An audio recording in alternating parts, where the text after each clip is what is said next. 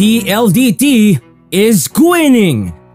Ginawang intense ng PLDT high-speed hitters ang 4 tie sa tuktok ng standings matapos ang kapanapanabik na 5-setter win laban sa Petrogas Angels 21-25, 31-29, 25-21, 21-25, 15-13 sa 2023 Premier Volleyball League All-Filipino Conference Huwebes sa PhilOil Eco Oil Center. Nanguna si Michelle Morente para sa high-speed hitters na may 21 points galing sa 18 attacks, dalawang blocks at isang ace kasama ang 15 excellent digs habang si Mean Mendrez ay umiskor ng 21 pati na rin sa 18 attacks, dalawang ace at isang block. Dahil sa panalong ito, ang high-speed hitters na nanalo na ngayon sa kanilang huling tatlong laro ay nakatabla ngayon sa Creamline, F2 Logistics, Cherry Tigo sa numero unong upuan na may magkatulad na 3-1 na record.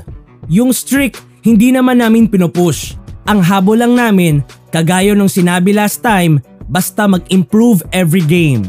Pahayag ni PLDT head coach Raul Recafort na kinalaban ang kanyang former team for the first time sa liga ang magkabilang kupunan ay nagpabalik-balik sa final frame na may kabuuang anim na deadlocks bago ang high-speed hitters ay nakahinga ng kaunti matapos maka-score sina Mika Reyes at Jovi Prado sa magkasunod na hit na sinundan ng net violation ni Aiza Maizo Pontillas na nagpauna sa kanila 12-10. Si Mendrez gayon paman ay gumawa ng isang error sa serbisyo habang si Jonas Sabete ay nag-cash sa isang off-the-block hit. Naglayag ang susunod na pag-atake ni Sabete ngunit umiskor ng isa si Remy Palma mula sa isang sirang laro upang muling itabla ang mga puntos. Sa pagkakataong ito, sa labing tatlo lahat. Sumabit si Del Palomata sa ere bago nagpakawala ng mabilis na pag-atake na naglagay sa PLDT sa match point bago hiniwa ni Morente ang depensa ng Petrogas sa pamamagitan ng cross-court hit para tapusin ang laro. Ang sabi ko kanina, parang nangyari nung sa F2. Kung hindi namin makuha kaagad, daanin sa tiyaga and sa character din kasi 5th set ulit. Dagdag ni Ricafort. Nagbuho si Prado ng 15 points na may kasamang 13 excellent receptions para sa high-speed hitters habang nagdagdag si Nadel Palumata at Mika Reyes ng 12 at siyam na marka ayon sa pagkakasunod. Si Rhea Dimakulangan ay naghagis ng 19 excellent sets habang si Kath Arado ay nakakolekta ng 40 digs sa patimpalak pati na rin ang 20 excellent receptions.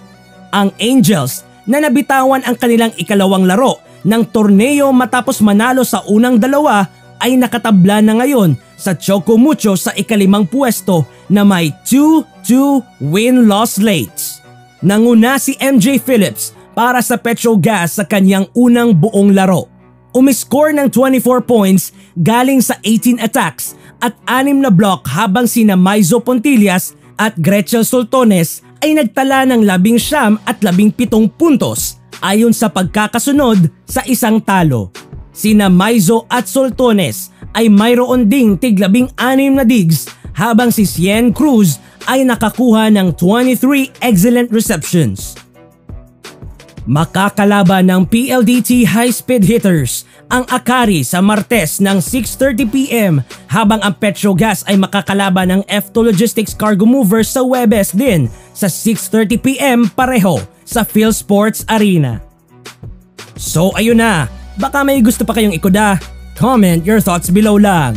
Again, don't forget to subscribe and click the notification bell. This is Papa Jim Voice saying thank you and see you on our next video. Bye-bye!